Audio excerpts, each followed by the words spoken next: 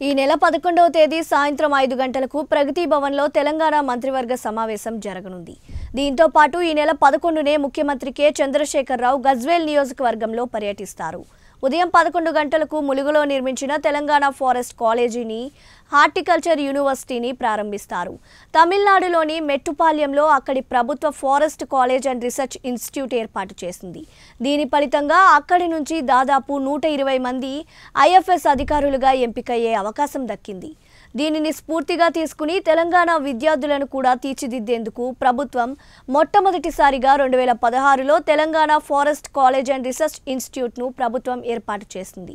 ఆ కాలేజీ కోసం ములుగలో విశాలమైన ప్రాంగణంలో భవన సముదాయం నిర్మించారు. ఈ భవన సముదాయానికి ముఖ్యమంత్రి పదకొండున ప్రారంభోత్సవం చేస్తారు. దీంతో పాటు తెలంగాణ రాష్ట్రంలో ఉద్యానవన అభివృద్ధి పరిశోధన కోసం మూలుగలో హార్టికల్చర్ యూనివర్సిటీ ఏర్పాటు చేసింది. ఈ యూనివర్సిటీ భవన సముదాయాన్ని కూడా ముఖ్యమంత్రి అదే రోజు ప్రారంభిస్తారు. అటవీ శాఖ మంత్రి ఐకే ఇంద్రకరణ్ రెడ్డి ఆరోగ్య శాఖ మంత్రి ఈటల రాజేందర్ ఆర్థిక శాఖ మంత్రి తన్నీరు హరీష్ రావు ఈ కార్యక్రమంలో పాల్గొంటారు. ఆ సాయంత్రం మంత్రివర్గ సమావేశానికి కేసీఆర్ అధ్యక్షత వహిస్తారు.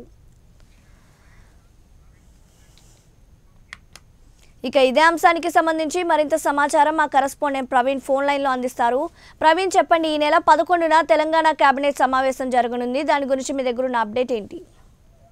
మనకి ఈ నెల పదకొండున సాయంత్రం పది గంటలకు తెలంగాణ మంత్రివర్గ సమావేశం జరుగుతుందని చెప్పొచ్చు మంత్రివర్గ సమావేశంలో మాత్రం కీలకంగా చర్చలు జరిపే అవకాశాలు మాత్రం స్పష్టంగా కనిపిస్తున్నాయి. ఇప్పటికీ రెవెన్యూ చట్టంలో పూర్తిస్థాయిలో ఒక మార్పు తీసుకురావాలి. రెవెన్యూ చట్టంలో పూర్తిస్థాయిలో విఆర్ఓ విఆర్ఏ వ్యవస్థ పైన కూడా పూర్తి ఒక నిర్ణయం తీసుకునే అవకాశం ఉంది అని చెప్పుకోవచ్చు. ఎందుకంటే ఆ ఇప్పటివరకు తెలంగాణ రాష్ట్ర వ్యాప్తంగా భూరికాలకు సంబంధించినంత వరకు ఏవైతే భూరికాల పక్షాల్లో జరిగిన సందర్భంలో విఆర్ఓలు విఆర్ఓలు ఇద్దరు కూడా వాళ్ళ చేతిపాట పెట్టుకుంది వాళ్ళ వ్యవస్థను పూర్తి రద్దు చేయాలని చెప్పి కూడా ప్రభుత్వము చాలా రోజుల నుంచి కూడా భావిస్తున్న పరిస్థితుల నేపథ్యంలో మాత్రం విఆర్ఓ విఆర్ఏ వ్యవస్థను రద్దు చేస్తుందా లేదంటే కూడా ఆ పూర్తి స్థాయిలో ఆ వ్యవస్థలో ఉన్న ఉద్యోగులు మాత్రము పూర్తిగా వేరే శాఖకు కూడా తరలిస్తారా? దానిపైన కూడా ఒక స్పష్టత రావాల్సి ఉందని చెప్పుకోవచ్చు. కేబినెట్లో మాత్రం పూర్తిగా రెవెన్యూ చట్టం పైన మాత్రమే చర్చించే అవకాశాలు మాత్రం స్పష్టంగా ఉన్నాయని చెప్పొచ్చు దీంతో పాటుగా లాభదాయక పదవులు ఏవైతే ఉన్నాయో లాభదాయక పదవులకు సంబంధించినంత వరకు ఎమ్మెల్యేలు కూడా ఆ పూర్తి స్థాయిలో వాళ్ళకి కేటాయించాలని చెప్పేసి కూడా గత కేబినెట్లో కూడా చర్చించినట్టు కూడా ఆ సమాచారం దీనిపైన కూడా చర్చించే అవకాశం ఉందని చెప్పుకోవచ్చు. దీంతో పాటుగా తెలంగాణ రాష్ట్ర వ్యాప్తంగా ఉన్న ఆయా జిల్లాలకు సంబంధించినంత వరకు